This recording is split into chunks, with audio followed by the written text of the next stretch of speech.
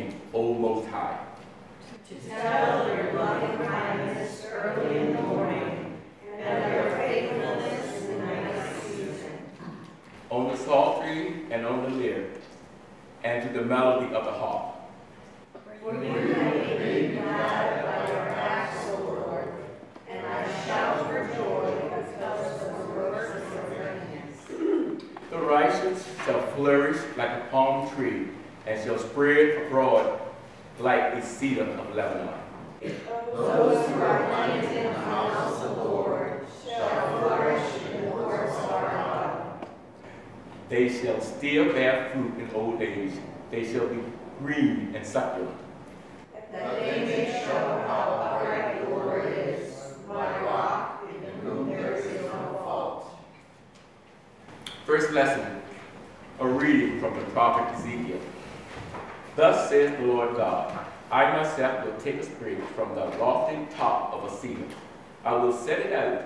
I will break off a tender one from the topmost of its young twig. I myself will plant it on a high and lofty mountain, on the mountain heights of Israel. I will plant it in order that it may produce grows and bear fruit and become a noble cedar. Under it every kind of bird will live. In the shadows of its branches will nest winged creatures of every kind. All the trees of the field shall know that I am the Lord. I bring low the high tree. I make high the low tree. I dry up the green tree and make the dry tree flourish. I, the Lord, have spoken. I will accomplish it. The word of the Lord. Thanks be to God.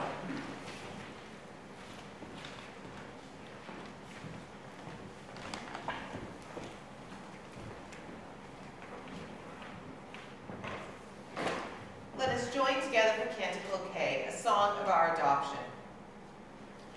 Blessed are you, the God and Father of our Lord Jesus Christ. For you have blessed us in Christ with every spiritual blessing in the heavenly places. Before the world was made, you chose us to be yours in Christ. That we should be holy and blameless before you. You destined us for adoption as your children through Jesus Christ, According to the good pleasure of your will, to the praise of your glorious grace. that you have freely given us in your pardon. In you we have redemption through the blood of Christ, The forgiveness of our sins, according to the riches of your grace. which you have lavished upon us. You have made known to us in all wisdom and insight, The mystery of your will, according to your good pleasure which you set forth in Christ, as a plan for the fullness of time, to gather together all things in Christ. things in heaven and things on earth, Glory be to the Father, and to the Son, and to the Holy Spirit. as it was in the beginning, is now, and ever shall be, world without end. Amen.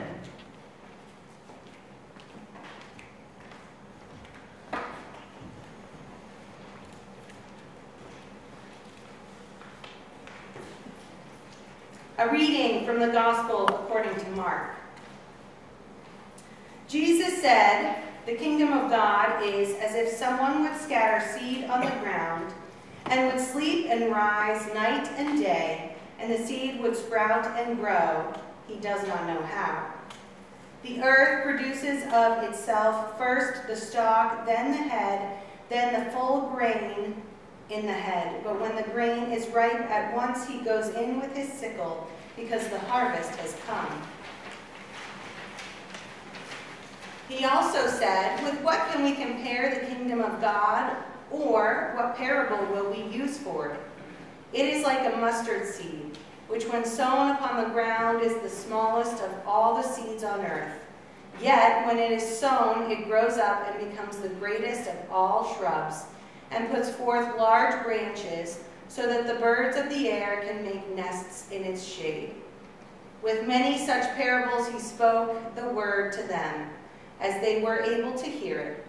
He did not speak to them except in parables, but he explained everything in private to his disciples. The word of the Lord. Thanks be to God. Let us recite Canticle D, a song of the wilderness, alternating at the asterisk. The wilderness and the dry land shall be glad. The desert shall rejoice and blossom, It shall blossom abundantly. and rejoice with joy and sing. They shall see the glory of the Lord. The majesty of our God, Strengthen the weary hands. and make firm the feeble knees. Say to the anxious, Be strong, do not fear. Here is your God, coming with judgment to save you, Then shall the eyes of the blind be opened. and the ears of the deaf be unstopped, Then shall the lame leap like a deer. and the tongue of the speechless sing for joy. For waters shall break forth in the wilderness. And streams in the desert, The burning sand shall become a pool. And the thirsty ground springs of water. The ransomed of God shall return with singing. With everlasting joy on their heads, Joy and gladness shall be theirs. and sorrow and sighing shall flee away. Glory be to the Father, and to the Son, and to the Holy Spirit. as it was in the beginning, is now, and ever shall be, world without end. Amen. Please join me in prayer.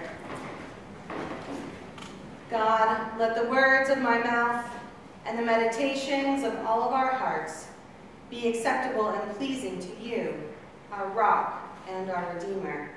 Amen. Amen.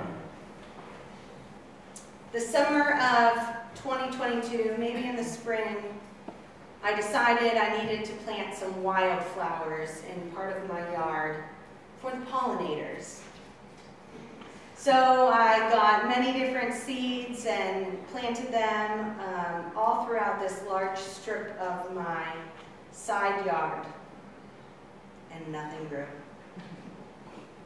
And then last summer, randomly, some yellow, beautiful yellow flowers started sprouting up in the places that I had tried to plant these wildflowers. I felt a little bit like the parable in our gospel this morning, going to sleep and just not knowing how these flowers grew a year later, but it happened.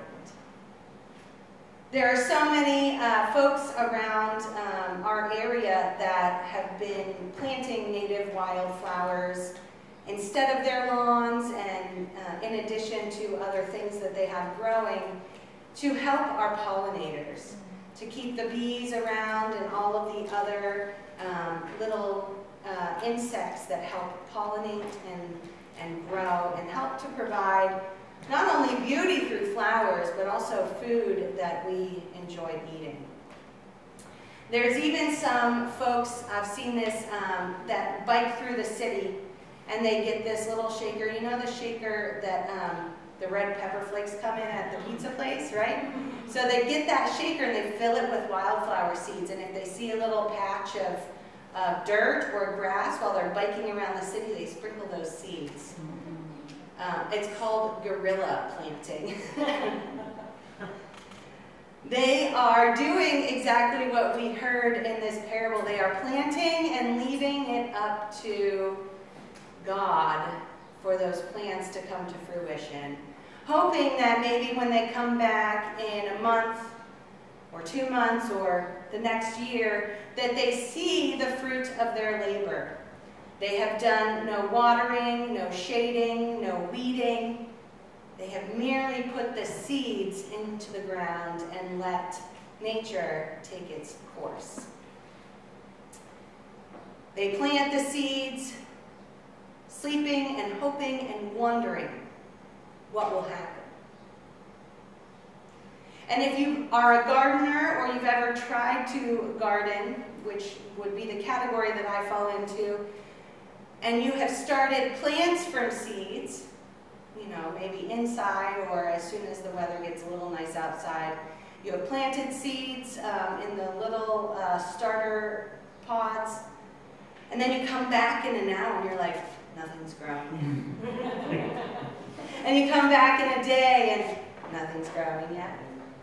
And you keep checking and checking and checking until finally you give up and you're like, whatever, maybe these aren't going to grow. And it's in that whatever time, that time that we uh, take back from ourselves, that we start to see those plants finally grow. It's hard not to keep checking and checking and checking when we planted a seed. A literal seed or a metaphorical seed. And we all have different roles to play in the health of our plants and our flowers and those metaphorical seeds that we plant. We have to decide where they will be planted. Sometimes it is very strategic. Sometimes the animals help us out and plant things in very weird places. I found crocuses all over with no rhyme or reason, and I'm sure the squirrels had a little bit to do with that.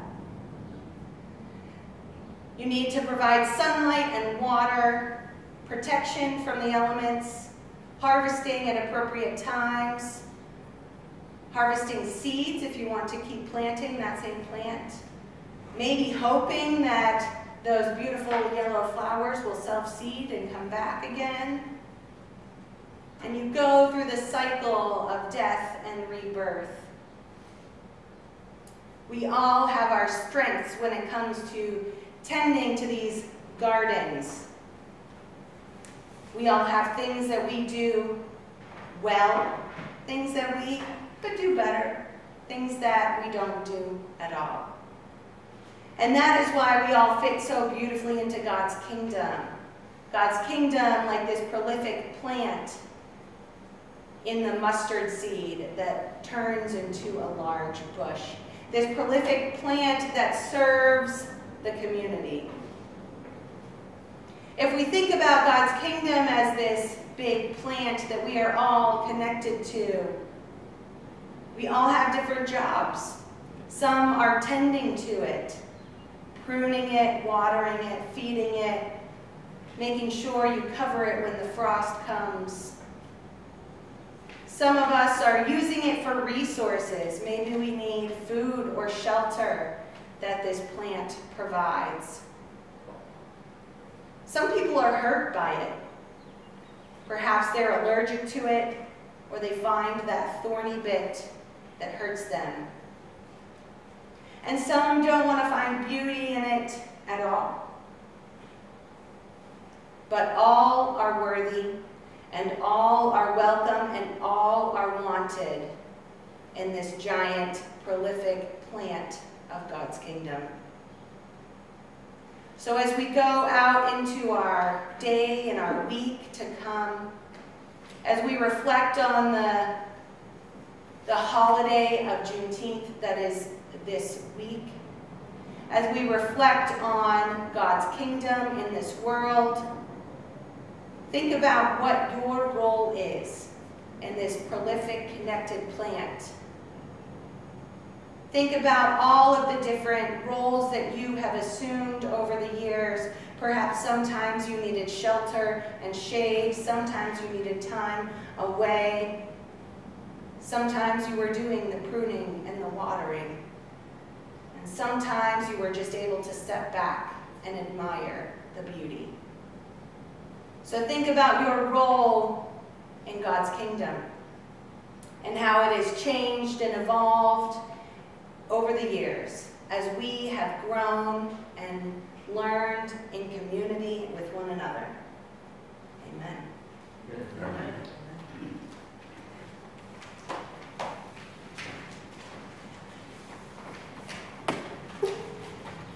Now let us reaffirm our faith in the words of the Apostles' Creed. I believe in God, the Father Almighty, creator of heaven and earth I believe in Jesus Christ, his only Son, our Lord. He was conceived by the power of the Holy Spirit and born of the Virgin Mary. He suffered under Pontius Pilate, was crucified and died and was buried. He descended to the dead. On the third day he rose again. He ascended into heaven and is seated at the right hand of the Father. He will come again to judge the living I believe in the Holy Spirit, the Holy Catholic Church, the communion of saints, and forgiveness of sins, the resurrection of the body, and the life everlasting. Amen. Lord Jesus Christ, you said to your apostles, Peace I give to you, my own peace I leave with you. Regard not our sins, but the faith of your church, and give to us the peace and unity of that heavenly city where with the Father and the Holy Spirit you live and reign, now and forever. Amen. The peace of the Lord be always with you. And also with you.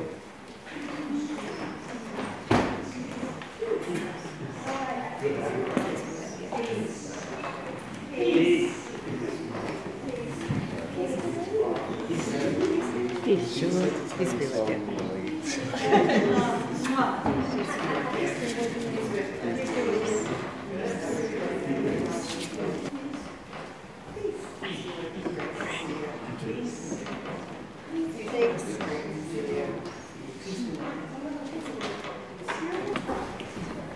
there any announcements that anyone would like to share this morning?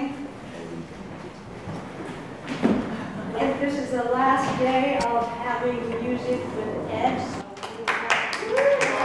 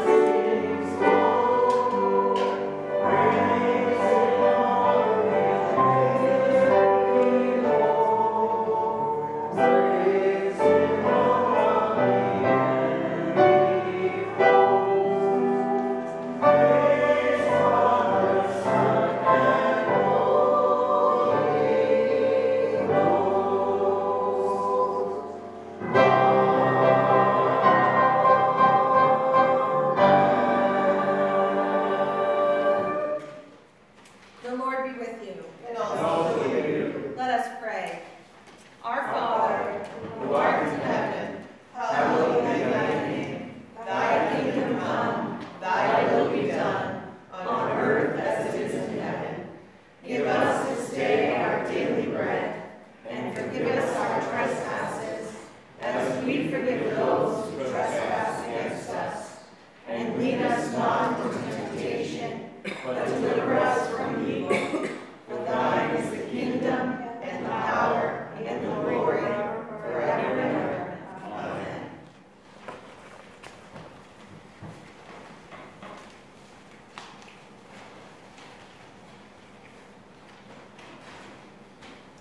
Help us, O God, our Savior. Deliver us and forgive us our sins. Look upon your congregation. Give to your people blessing and peace, Declare your glory among the nations. and your wonders among all peoples. Do not let the oppressed be shamed and turned away. Never forget the lives of your poor, Continue your loving kindness to those who know you. and your favor to those who are true of heart. Satisfy us by your loving kindness So shall we rejoice and be glad all days of our life. We hold before the throne of grace all those in need of God's abiding presence. We pray especially for James Stahl, James Corkum, Ralph Vidiello, Bob Tedisco, Bob Bishop, Richard Long, Edward Costella, Beth Mitchell, Eric and Ellen Delaney, Danny Sharif, Joan Kramer, Mike Monahan, Robert, Ken, Dan Kaspari, Nathan Patno, William Goodwin, and all those who we hold in our hearts before you this day. And we also bless your holy name for Salvatore Zapula and all your faithful servants departed this life in your faith and fear, beseeching you to grant them continual growth in your love and service. Amen.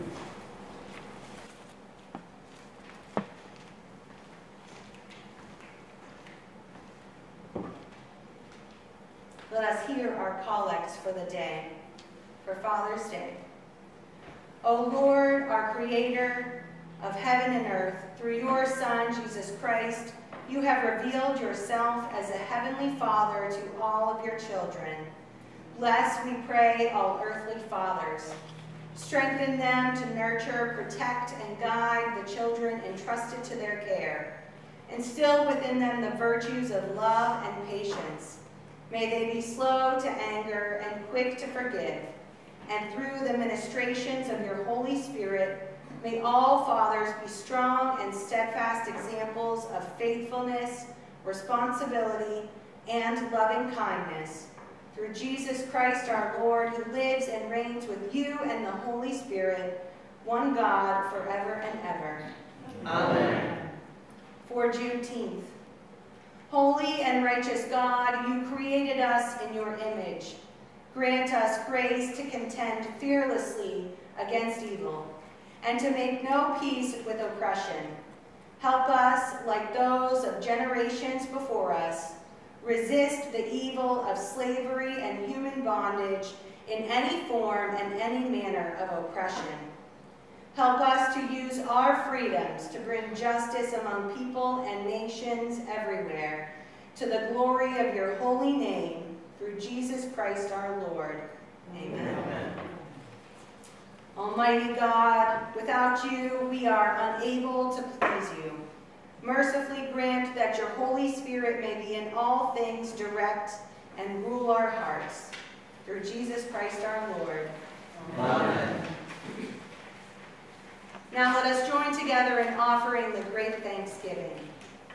Almighty God, Father of all mercies, we, your unworthy servants, give you humble thanks for all your goodness and loving kindness to us and to all whom you have made. We bless you for our creation, preservation, and all the blessings of this life, but above all for your immeasurable love and the redemption of the world by our Lord Jesus Christ for the means of grace and for the hope of glory.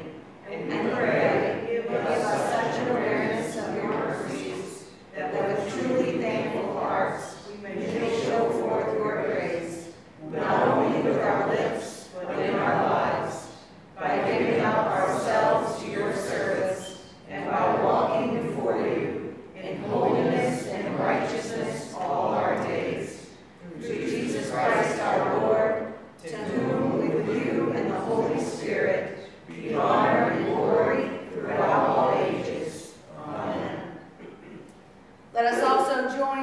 verses and offering the prayer of St. Chrysostom.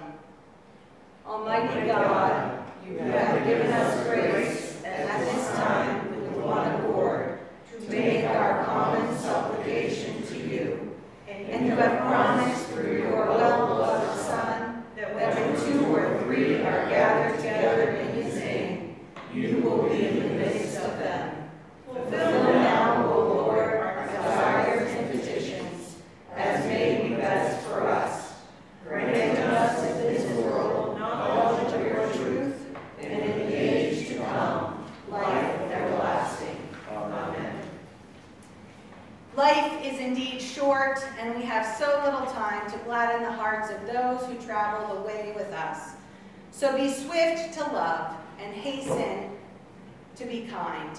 And the blessing of our gracious God, the Father, the Son, and the Holy Spirit be amongst you and remain with you always. Amen. For our recessional hymn, I invite you to join together in singing Faith of Our Fathers, hymn 558.